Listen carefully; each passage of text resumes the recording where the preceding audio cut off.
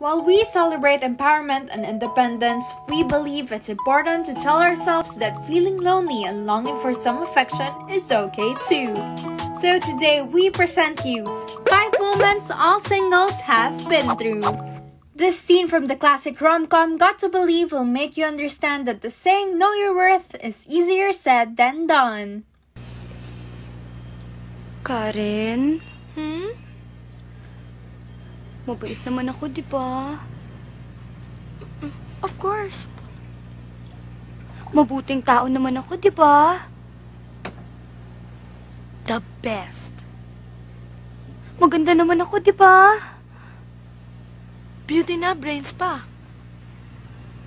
Eh, bakit walang naliligaw sa akin? Uy, that's not true, girl, ha? Lahat na lang na naliligaw sa akin, yung mga ayaw ko. Lahat ng gusto ko, ayaw sa akin. Ba't ganun? Hindi ko na ba talaga makikita yung Prince Charming ko? Macy from That Thing Called Tadhana knows exactly what it feels like to wonder if you'd ever find love the way others have. Sa tingin mo, ipapatol pa sa akin? I mean, may makakagusto pa ba sa akin? Makakarelasyon pa ba ako? May mabamahal pa ba sa akin? Oo naman. Ano ka ba?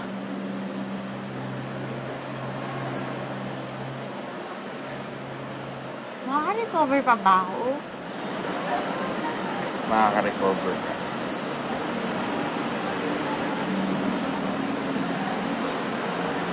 Sure na sure ka dyan, ah. Finding love is not a competition of who gets to it first, but anyone who's ever been on dating apps knows how it can sometimes feel like a game. Sam, may... May Tinder na ako. Oh. Hindi, meron. Okay na. Nakita ko. Oh, saya mag-Tinder, no? Grabe. Saya.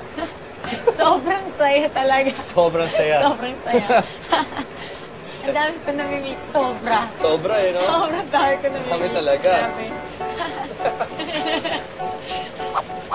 And lastly, if you've been single long enough, you know that being one is never the problem. The feeling that goes with it is. Here, let me ask you something. Hindi ka ba nalulungkot na single ka?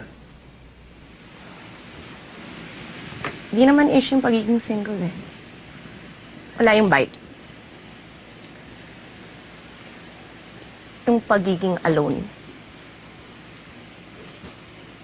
Yan ang masakit. Got the feels? See us again on Cinehub for more relatable movie moments.